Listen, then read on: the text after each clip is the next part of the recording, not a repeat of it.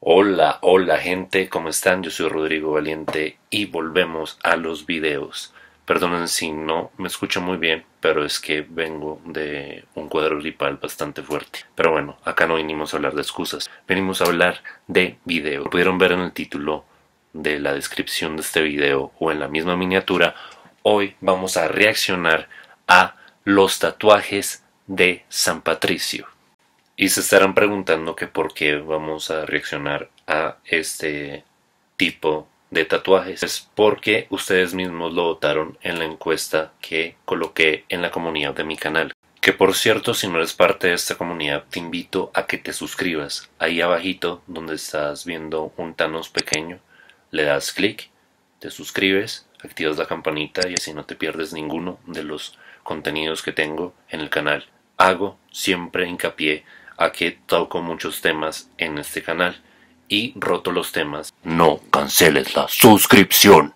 Pero antes de irnos a reaccionar a los tatuajes tenemos que dilucidar quién era San Patricio. Patricio era un peregrino esclavo de los piratas que volvió a Irlanda para evangelizarla. Le rindo homenaje porque muere en el año de el 461 después de Cristo y desde ahí empieza a hacérsele un homenaje porque se le considera como el santo patrono de Irlanda. La Iglesia Católica no lo alcanzó a canonizar. Se conoce que las túnicas que utilizaba el patrono de Irlanda no eran de color verde, de hecho eran de azul claro. Sin embargo, se le agregó el color verde, que es el color que identifica a los irlandeses de su espíritu como irlandeses, valga la redundancia. Y hacia las creencias de seres mitológicos como los gnomos y los tréboles. Y tengo todavía el rastro de un trébol. En mi caso sí no me trajo fortuna, pero bueno.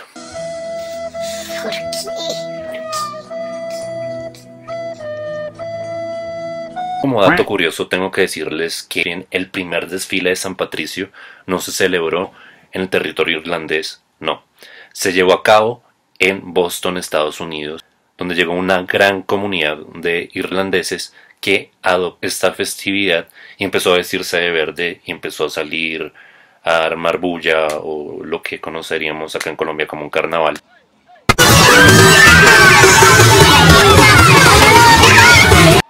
Y se veían gente con máscaras, vestidos de gnomos o duendes y salían con su conmemorativa cerveza color verde. De ahí el equipo de la NBA de básquetbol, los Boston Celtics.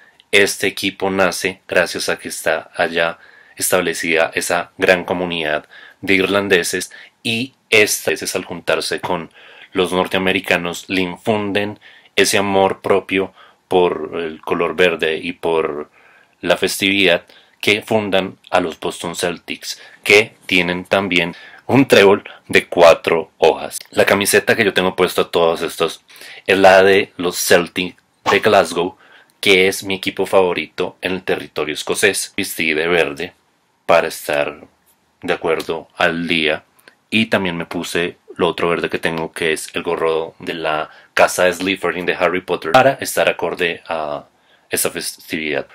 En Estados Unidos es un día, como en el resto del mundo, pero los irlandeses lo celebran por cinco días. El río de Chicago, en Estados Unidos, se tiñe completamente de verde durante el día de San Patricio.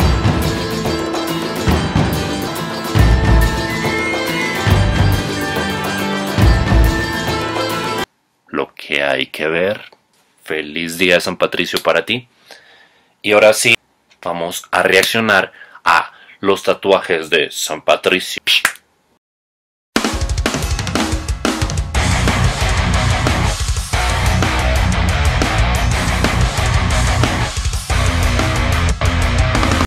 El primer tatuaje que vamos a reaccionar es justamente del santo patrono de San Patricio. Sí, esto ha llevado a que la gente lo venere sin ser santo porque la Iglesia Católica no lo canonizó realmente.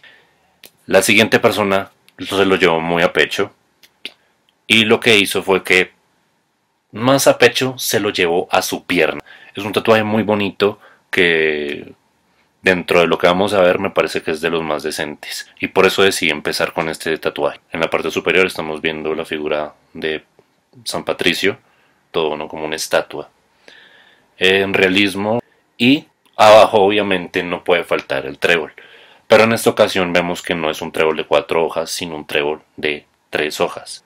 Donde les quiero hacer una pregunta a ustedes para que interactuemos, ¿no? Para que rompamos la cuarta pared, ¿sí? Quiero que me digan, y si no les da parece investigar, ¿por qué creen que esta persona se tatuó un trébol de tres hojas y no de cuatro? La siguiente persona realmente es patriota. ¿Y por qué digo que es patriota? Esta persona nos muestra su amor por Irlanda más que por San Patricio, pero está catalogado entre los tatuajes bonitos de lo que vamos a ver acá. Estamos empezando con lo más decente y luego vamos a ir yendo hacia lo más creepy, se podría decir. Para que esto no sea tan serio y también leemos tintes de humor. La bandera de Irlanda rasgada, como haga de cuenta que está saliendo de su brazo, creo me parece que es el brazo, no estoy seguro, voy a checar bien. Díganme ustedes qué creen, ¿eso es un brazo o eso es una pierna? Creo que es un brazo, ¿no? No creo que esté tan ciego.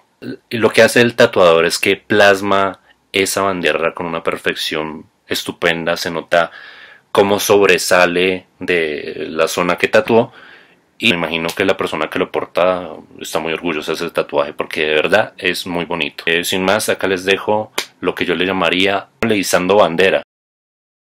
El siguiente tatuaje que vamos a ver es geek. Porque ya saben, en este canal también tocamos el tema de la comunidad geek. Ahora, ahora ¿qué me pasó a mí? ¿Tengo una pinche palabra malentendida acaso con comunidad? ¿Qué madres es una comunidad, Rodrigo? Pues de haber aclarado la palabra comunidad. Como les digo, también tengo miembros. Suena más bonito, ¿cierto? Sí, sí, sí, sí. Mis miembros tatuados. Ah, eso suena hermoso. ¡Qué maravilla! Pues no puedo también descuidarlos. ¿Se acuerdan de aquel gnomo que vemos en Los Simpsons? Creo que en uno o tres capítulos o más. Pero para los que son muy, muy fans de Los Simpsons saben de cuál gnomo me estoy refiriendo. Cántanos algo de la isla Esmeralda. Sin más, les dejo el primer gnomo que vamos a ver en este video. Un gnomo que está bien hecho. Sí, no me acuerdo cómo se llama. Si alguien sabe, por favor, déjenlo ahí en los comentarios. Ahora vamos con la parte bonita de este video. Pere.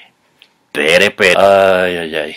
Cuando estaba buscando los significados de lo que significaba un duende en un tatuaje, me llevé a sorprenderme porque los siguientes tatuajes que vamos a ver son la clara imagen de ese dicho que dicen que no todo tatuaje que se realicen después de haberse alcoholizado o después de haber tomado o bebido va a salir bien. Me llegué a enterar de que la mayoría de duendes que se han tatuado las personas es por borracheras. Así como lo oyen, por borracheras. Yo me imagino que este duende le debe de doler un montón. Si a veces para un hombre es complicado orinar, ¿cómo será orinar para un duende? Y que en lugar de orinar pis, orine oro? What the fuck? ¿A quién se le ocurre una idea como esta? Aquí me están viendo un duende con nalgas pronunciadas, con cara de pedo y lleno de orina en oro. Así que esto le podemos llamar una orina millonaria. El siguiente tatuaje que vamos a ver, o de hecho, ¿dónde he visto yo esa imagen antes?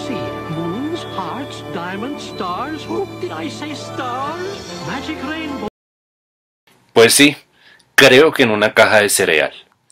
Pero lo que vamos a ver no tiene nada que ver con cereal. Y créanme lo que vamos a ver dentro de lo que podría ser un tatuaje... Mm, no, no, no. Yo me imagino que de verdad, de verdad, de verdad, los que se hicieron los siguientes tatuajes se tenían una peda ni la tremenda, no se acordaban ni quién eran, se fueron con el mejor amigo y por locura se hicieron el tatuaje, ¿sí? Sin más. Este es un poquito medio detallado, pero en proporciones nada detallado. En color, muerto por completo, es que no sé, juzguen ustedes. Junten un duende con una pipa, pero aquí claramente nos están mostrando qué carajos está fumando el duende. Y no contento con eso, el, el duende decidió rematarla con unas pastillas alucinógenas. Entonces, imagínense el viaje. A esto le llamé, se la fumó tan verde que se fue a un viaje de colores. El siguiente tatuaje es la clara imagen de que, hombre, a Thanos lo han juzgado tan mal. Perdón si soy tan explícito, pero a Thanos le han dicho que tiene la cara o la mandíbula en forma de escroto. Pero créanme que si la mandíbula de Thanos tiene esa forma peculiar y extraña para ustedes, tienen que ver este tatuaje. Porque este tatuaje se lo hicieron a un borrachín, pero se lo tiraron completamente. Junten a Un pito. háganle la forma de un gnomo, póngale las bo- Hola. a ese gnomo en la cara y no contentos con eso, sienten ese gnomo en la olla donde se supone que tiene que cuidar ese tesoro.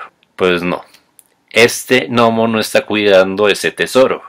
Ese gnomo está...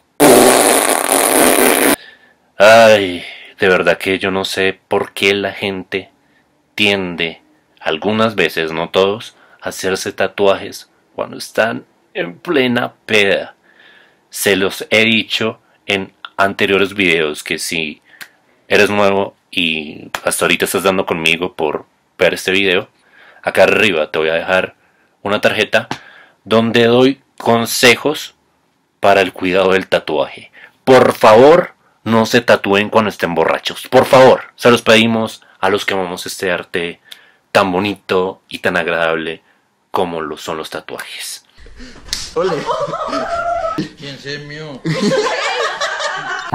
Sin más, vean el último tatuaje de estos gnomos peculiares en este especial de San Patricio. Y bueno, amigas y amigos, tatuadas y tatuados, hemos llegado al final de este video. Yo me divertí un montón. ¿Y ustedes? Espero que se lo hayan disfrutado muchísimo como yo. Díganme en los comentarios lo que opinan de sus tatuajes. Y de hecho díganme cuál fue el que más les gustó. Esta semana tenemos dos videos. Sí. Porque les tenía preparada una sorpresa hace mucho tiempo. Acá arriba voy a dejar una tarjetica para que vayan y vean el vídeo que le hice en homenaje a el cumpleaños, eh, creo que fue el año pasado. Sí, obvio, el año pasado, porque apenas vamos a cumplir dos años en el canal. Wow, cómo pasa el tiempo. Y ahora nos vamos con otra parte para hacerle homenaje a este gran integrante o este gran cantante y screamer que se fue desgraciadamente. Gracias por haber visto este video. Espero que te haya gustado mucho este video. Si te gusta este tipo de video reacciones, házmelo saber en los comentarios. Y cuéntame si te gustó cómo me viste vestido, si crees que me queda bien el color verde o me queda mejor el color rojo. Y cuando me refiero al color rojo, la gente sabe por qué el color rojo y por qué lo del color verde, que mm, no soy tan amigo de este color. Hoy somos amigos de este color porque estábamos celebrando el día de San Patricio. Recuerda suscribirte acá en el Thanos que está en pantalla, le das clic desde la computadora, activas la campana para que no te pierdas ninguno de los contenidos que subo en este canal, que te puedes enterar de cuáles son si animas y vas a mi perfil del canal y ahí vas a ver el banner. Me animarías muchísimo a seguir creando este tipo de contenidos si te suscribes. Por suscríbete y no canceles la suscripción. Recuerda que ser miembro de este canal o ser socio de este canal es completamente gratuito y que tomo en cuenta todas las ideas que ustedes me dan. Los saludo a ustedes cuando se lo merecen, cuando no se me pierden. Por ejemplo, han habido unos suscriptores que me han sugerido videos, he creado esos videos, los he subido Y hasta el sol de hoy no han vuelto. Si los ven por ahí, díganles que les cumplí, ¿va? A todos les respondo comentario, yo subo un solo vídeo a la semana, pero a veces cuando son especiales que lo ameritan, subo dos. Esta semana subo dos porque, como lo dije al principio del video, vengo a estar completamente enfermo. Un cuadro gripal bastante fuerte que me había incluso dejado disfónico. Ya recuperamos la voz.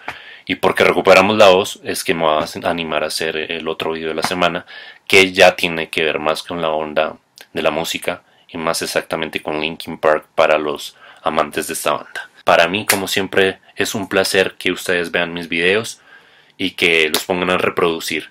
Ayúdenme a hacer crecer este canal dándole like si les gusta el video, comentando lo que quieren ver, compartiéndolo con sus amigos o con gente que crean que les puede servir esto. También tengo un Instagram para que vayan y me sigan. Nos vemos en un próximo video. Yo soy Rodrigo Valiente y te deseo un feliz día de San Patricio. Chau, chau, chau, chau. Chau, chau.